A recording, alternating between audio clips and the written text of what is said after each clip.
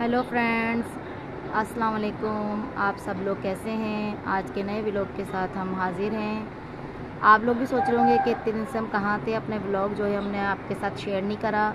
लेकिन मैं आपको बताती चलूँ कि मेरी बेटी मनाहिल की तबीयत बहुत ख़राब थी और वो बहुत ज़्यादा बीमार हो गई थी। अब काफ़ी बेहतर तबीयत है। आप लोग अपनी दुआओं में से याद रखिएगा।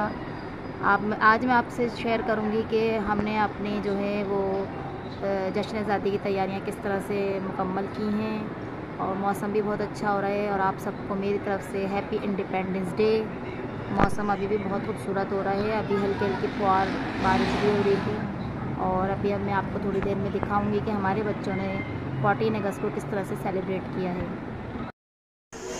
फ्रेंड्स हमने आपको कहा था ना, बच्चों की चौदह अगस्त की तैयार आपको दिखाएँगे तो आप देखें, आप सबसे पहले हम आपसे मनाइल को दिखाएँगे।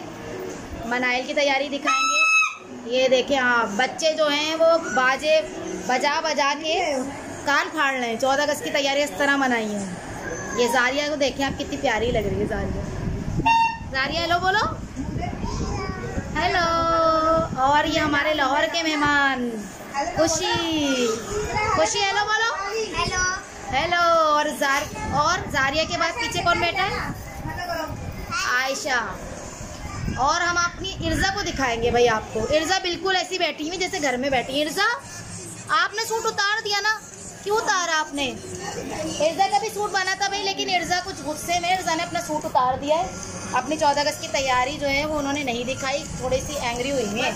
थोड़ी सी बस चूड़ियाँ पहनी हुई भाई दिखा दें हम ये देखें आपको क्लोजअप कर और इनकी मेहंदी भी दिखाएँगे अब आपको कितनी प्यारी मेहंदी लगाई हुई ये देखें। और बच्चों के हैंड दिखाते हैं। हम देखो बच्चों ने क्या करा है।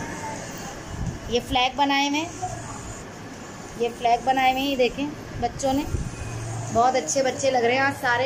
हैप्पी इंडिपेंडेंस डे बोलो सब लोग। बोलो। जश्न आज़ादी।